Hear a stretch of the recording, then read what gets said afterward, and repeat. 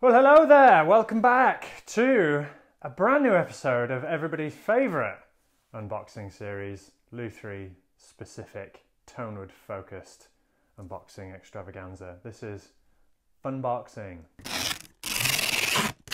So today, I'm very excited. We haven't done these for one of these for a while, and I have a heavy package, and heavy equals good. Oh god. Yeah, listen to that. When the box has a great tap tone, you know you're in for a party.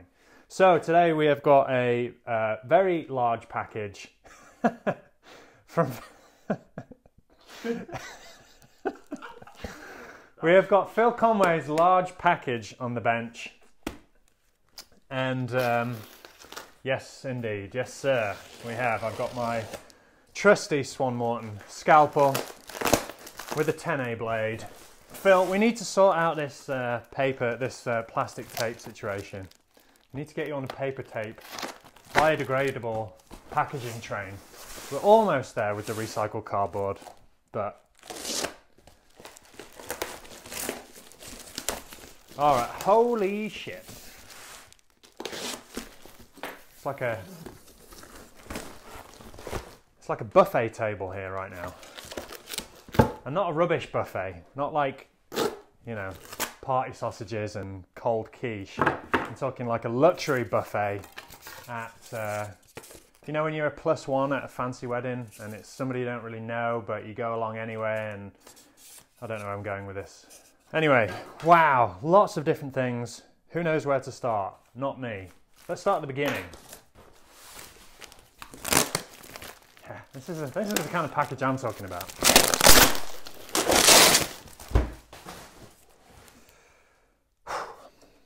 Okay.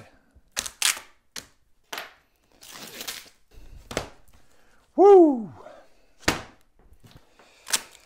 Oh man, wow, wow, wow. I'm so excited. I'm just throwing stuff all about the place. I've also had about four coffees and my knees are about to give way.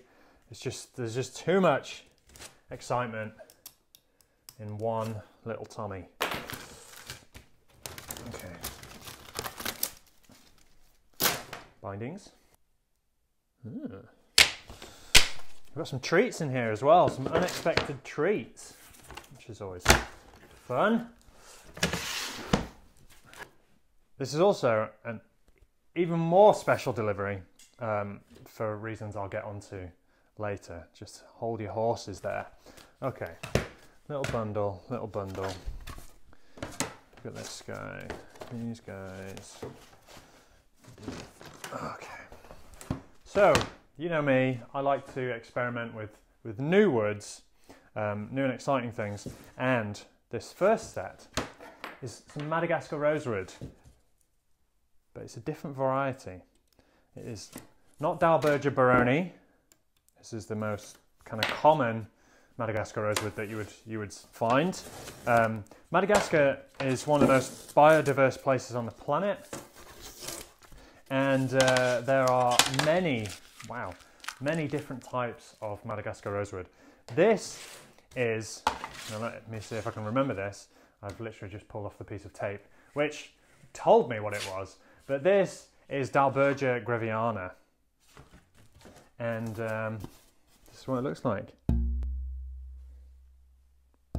Oh, yeah. Like I'm barely touching that. And that is ring ting. The whole thing is like vibrating. Now then, do we have any magic spray? Daniel, what did we do with the magic spray? I think it's just behind you there on there. Brilliant. If you could kindly pass me that. Thank you, sir. All right, let's do the do. Let's do the thing. Oh, it's off. It's off. You left it in off mode. How could you do that to me? It was leaking. It's always like, wow. That is beautiful. That is really, really beautiful. Get a good look at that, Danny boy. Getting that? Absolutely. Yeah? How lovely is that? Oh, and it's shimmery, it's glossy. The chatoyance on that is just absolutely delicious. Wow. I am, you know, um, Phil sent me. Phil is a is a is an expert salesman, and um, uh, he, he he was like, oh, by the way, I've got some of this um, this uh, lesser known Dalbergia. Would you be curious to take a look? And when when he sent me the pictures, I was kind of a little bit underwhelmed, but he assured me that it's good stuff, and he was not wrong. This this looks the biznit. Okay. Put that to one side. All right, next up, another brand. Wow, that is uh, that's got some mass. This is another new wood. This is an Australian wood. This is commonly known as Belah which is uh, Casuarina cristata, and it is uh, inland, uh, kind of eastern inland um, native to Australia. Very dense, very hard. Let's get some magic juice on here. Actually, let's, let's tap it first. It's got a sound. It's got a sound. Oh yeah. Oh, it's beautiful. Really kind of honey brown with some kind of pinky, peachy tones running through there. Some really nice, tight fiddleback. Yeah? What do you think to that, Dan? Lovely. You like that one? Yeah, yeah. Yeah? Beautiful. I got some um, I got some River Red Gum from Phil a few months ago, and um, that was spectacular. And this has got a very similar kind of um, ultra tight fiddleback flaminess. Beautiful. That is really gorgeous. Let's see if we can find the size. Oh yeah. Wow, it's it's like glowing. It's got like an aura to it. It's like a purpley pink. Or maybe that's just because I've had too much coffee and it's the naphtha. I don't know. You seen that? You see yeah, what I mean? see that, yeah. It's really cool, isn't it? All right, so there we go. Some Belah.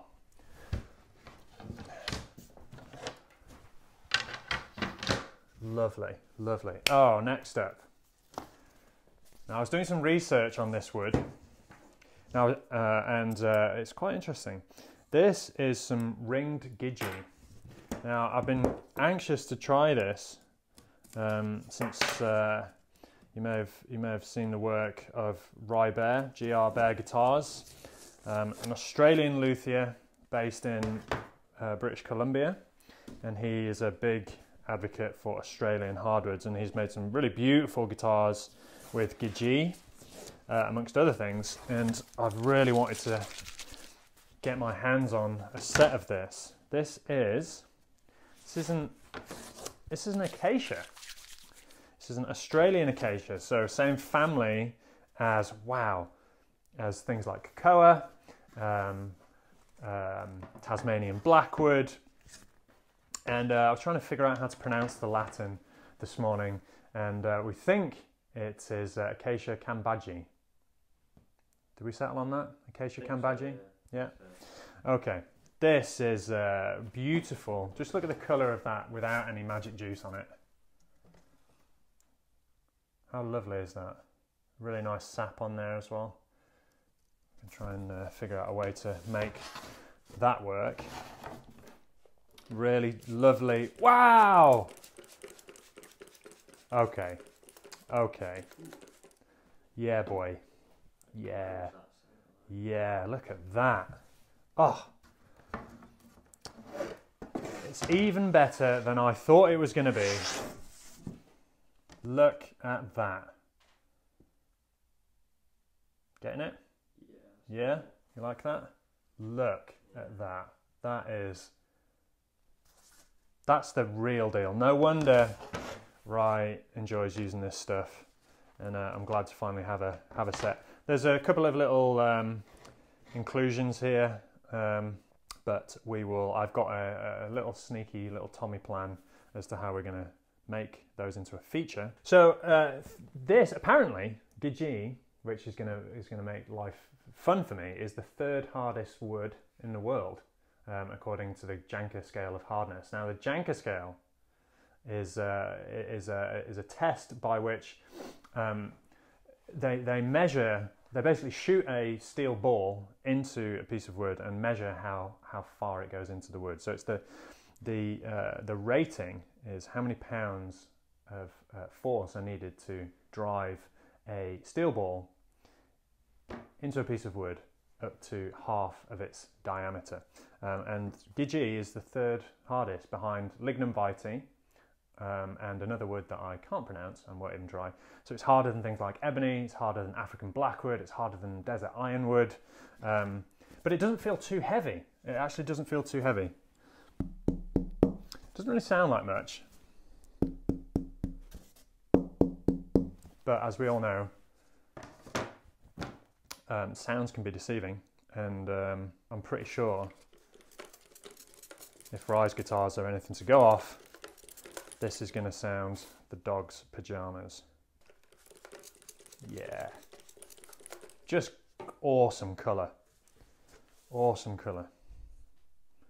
So Gidgee is uh, mainly found, it's an endemic tree to Australia. It's mainly found in Queensland, um, in the kind of semi-arid and arid regions of Queensland, but it also, you can find examples up in the Northern Territories and it's in Southern Australia as well. But it's uh, mainly, it's like a, a desert tree, I guess. Um, super slow growth, beautiful, beautiful, beautiful. I think this stuff comes originally from, from Curly Pete. If you're an Instagram uh, aficionado, um, Curly Timbers, I think it's Curly Timbers, um, Curly Pete uh, in Australia is a wonderful custodian for these these uh, timbers, um, and a great lot of care goes into uh, managing the supply and uh, sustainable harvesting and all that kind of thing. Wonderful! Can't wait to build. Oh, this is the problem. I get I get all this wood, and then I just instantly want to just start building with it, and so I just have loads of you know projects constantly going. Um, anyway, it's a nice problem to have. Let's make some room. Okay, so we also have um, some Amazon rosewood, uh, Dalbergia spruceana. So not uh, not Brazilian rosewood, not Brazil, uh, not um, Dalbergia nigra. This is a Dalbergia spruceana, which is really gorgeous. We've also got some matching head plates and bridge blanks here as well. Oh yeah, really great colour again. Look at that. That's a taste of autumn right there. Really rich, deep chocolate brown, but not dull. It's really like iridescent. That's gorgeous. almost some like velvety kind of lilac colours going through there. Gorgeous. I won't take, you know what? I'm going to take this off. I am going to take this off. Let's see what we've got here. Yeah, man. That's going to be lovely. That is going to be lovely. Yep. Okay, so What's this? Ooh, nice. Wow. Phil's also thrown in some some treats. We've got a whole ton of um, Spruceana binding stock. So I'm going to use this a lot on my rosewood guitars, my Brazilian rosewood guitars. And this is really beautiful, nice and straight grained. Fantastic. Lots of sanding and uh, applying a purfling. Might, might get you to do that, Dan. Yeah. Yeah, put you on the power tool. Okay. So I was chatting to Phil uh, whilst I was spending all my money with him, and we decided that it might be fun to uh, to run a little giveaway, a little a little contest, um, to win some some woods, some sets.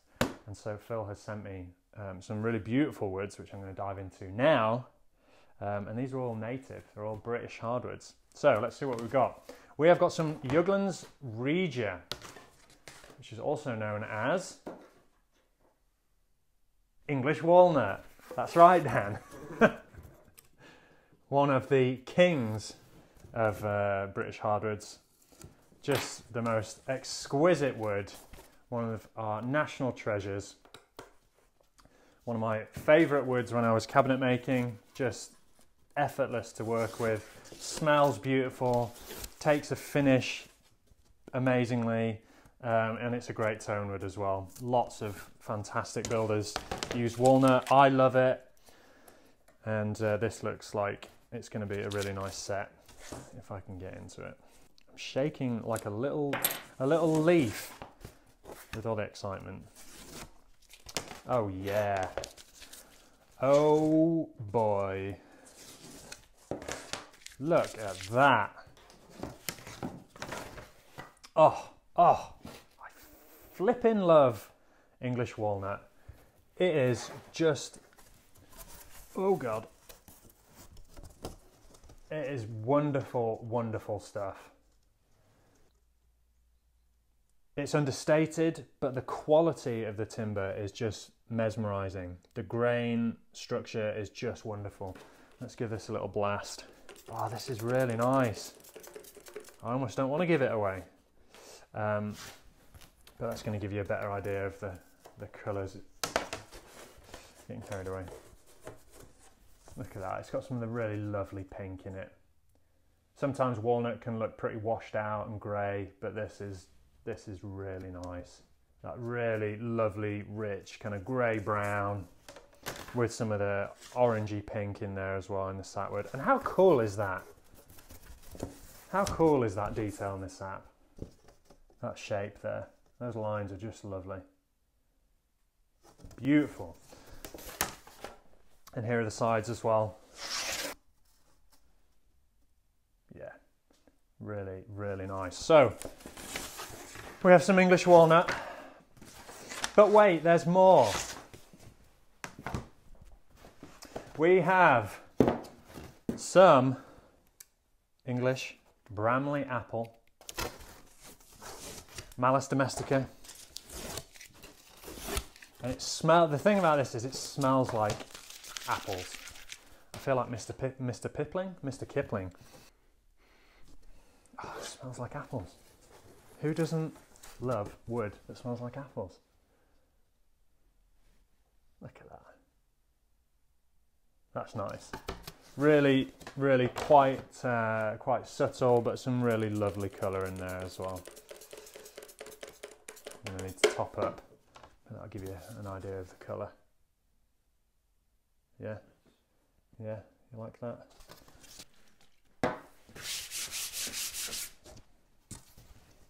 Beautiful. Malus domestica, English Bramley apple. Smells like apples.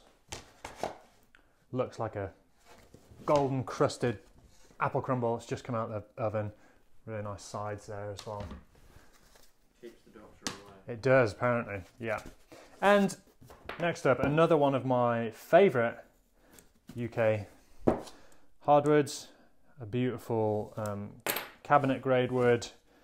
Again, really wonderful to work with. Oh, this, oh man. We've got some really lovely, oh, the colour in that is gorgeous. Some English sycamore. Acer pseudoplatanus. So not to be confused with um, American plane or American sycamore. This is uh, pseudoplatanus, like a plane tree. This is English sycamore. Almost looks like ash. Beautiful. Look at that colour. It's a really rich orangey honey. And that grain is so cool. You like that? Wonderful. English sycamore. Gorgeous. Nice little bit of ripple in there as well. And some nice sides too. So, oh. And we are, but wait, there's more. Oh goodness me, this is so exciting. We've got a couple of fingerboard, fing, fingerboard blanks. Now this I've never even heard of. Monterillo, uh, Brownea macrophylla. I'll have to, I'll have to Google that. Monterillo. I'm wondering if it's maybe like a South American wood.